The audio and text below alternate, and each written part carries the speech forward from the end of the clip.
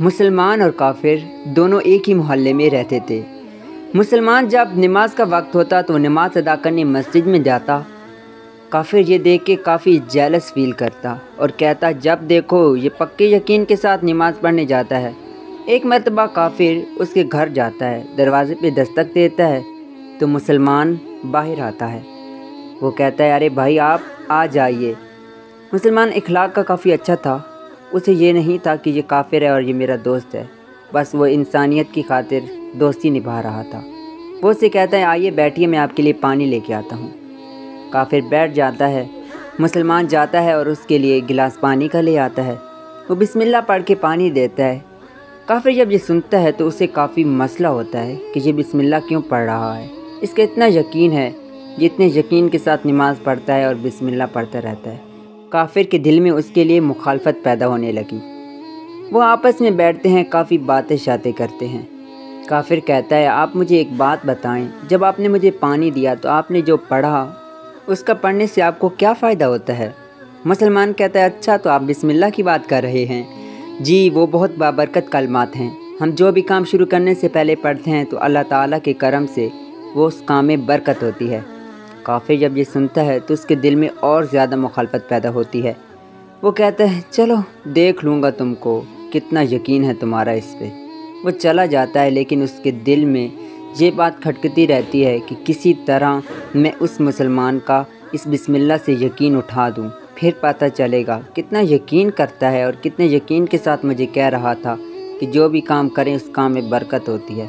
वो कोई ऐसा मंसूबा सोचने लगा जिससे मुसलमान का बिस्मिल्लाह से यकीन उठ जाए। अगले दिन वो मुसलमान के घर आता है और कहता है, दरअसल मैं एक काम के सिलसिले में आपके घर आया। ये मेरी एक कीमती अंगूठी है। मैं काम के लिए शहर से बाहर जा रहा हूँ, जिससे मुझे आते वक्त कुछ दिन लग जाएँगे। तो ये बहुत कीमती है, कहीं चोरी ना हो जाए। इसीलिए मैं आपके पास अमानत रखवाना चाहता हूँ।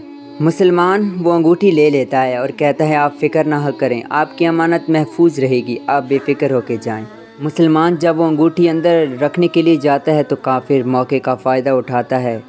जहाँ मुसलमान अपने लॉकर के अंदर वो अंगूठी छुपाता है तो बाहर खड़े काफिर चोरी छुपे देख लेता है कि मुसलमान ने अंगूठी कहाँ छुपाई है और भाग जाता है। नमाज़ के वक्त जब मुसलमान घर से निकलता है मस्जिद जाने के लिए तो काफिर उसे देख लेता है। वो तो घर से चला गया है, उसका घर अकेला है। वो इसी मौके का फ़ायदा उठा के चला जाता है। और उस जगह जहाँ मुसलमान ने अंगूठी रखी हुई थी, वहाँ से वह अंगूठी का डिब्बा उठाता है, उसके अंदर से अंगूठी निकाल लेता है और उसका डिब्बा वहीं रख देता है और भाग जाता है। वो एक दरिया पे आ जाता है और वो अंगूठी वो दरिया के अंदर फेंक देता है कि हमेशा के लिए इस अंगूठी का नाम निशान भी ख़त्म हो गया। अगले दिन जब मुसलमान अपने पकाने के लिए मछली बाज़ार से ले आता है, जब वो मछली को काट रहा होता है तो अचानक उसके पेट से एक अंगूठी निकलती है। मुसलमान वो अंगूठी देख के हैरान होता है। कहता है, ये तो बिल्कुल वैसी है जैसे मेरे दोस्त ने मुझे अमानत दी थी। वो जगह जाता है जहाँ उसने अंगूठी रखी होती है। वो देखता है तो वहाँ अंगूठी नहीं होती। वो काफ़ी हैरान होता है और कहता है, शुक्र है, जो भी हुआ, मुझे उससे कोई गर्ज नहीं। बस अल्लाह का ये शुक्र है कि अंगूठी वापस मिल गई मुझे। कुछ अरसे बाद वो काफिर आ जाता है और इस बार वो काफ़ी खुश था। वो कहता है, आज वो वक्त आ गया जिसका मुझे कई दिनों से इंतज़ार था। वो मुसलमान उसको पानी पिलाता है। आखिरकार काफिर कहता है, अरे, जो अमानत आपको दी थी वो मुझे चाहिए। बहुत शुक्रिया आपका अमानत रखने के लिए। मुसलमान कहता है अच्छा बैठिए, आप, मैं ले आता हूँ। वो काफ़ी थोड़ा परेशान होता है और कहता है, नहीं, मुझे टेंशन लेने की ज़रूरत नहीं।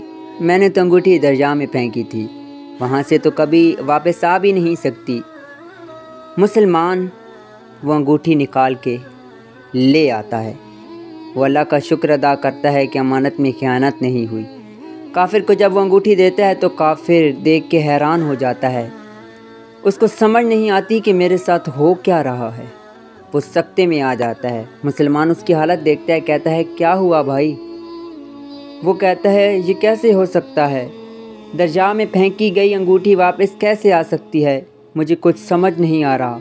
वो मुसलमान को सारा वाक़ सुनाता है कि कैसे मैंने अंगूठी चुराई और मैंने दरिया में फेंक दी। कर वो काफ़ी गुस्सा होता है। काफिर कहता है, मुझे माफ़ कर दें। मैं चाहता था कि तुम्हारा बिस्मिल्लाह से यकीन उठ जाए। इसीलिए मैंने तुम्हें ये अमानत दी और फिर मैंने उसको दरिया में डाल दिया। मुसलमान कहता है, अरे पागल, वो तो मैं उस दिन बाज़ार से मछली लाया। तो जब मैंने मछली का पेट काटा तो उसके अंदर अंगूठी थी। ये सब बिस्मिल्लाह की बरकत से हुआ। जब मैंने देखा तो ये वही अंगूठी थी। लेकिन वो मेरे लॉकर में नहीं थी। तो मैंने बहुत अल्लाह का शुक्र अदा किया कि अल्लाह ने मेरी अमानत में ख़यानत नहीं होने दी। वो काफिर सर पीटने लगता है और कहता है कि मुझे माफ़ कर दो। मैं भी कलमा पढ़ना चाहता हूँ। आपके कलमात में इतनी ताकत है कि नामुमकिन भी मुमकिन हो गया। कैसे दर्जात से अंगूठी वापस आ गई? वीडियो अच्छी लगे तो लाइक एंड सब्सक्राइब कर कर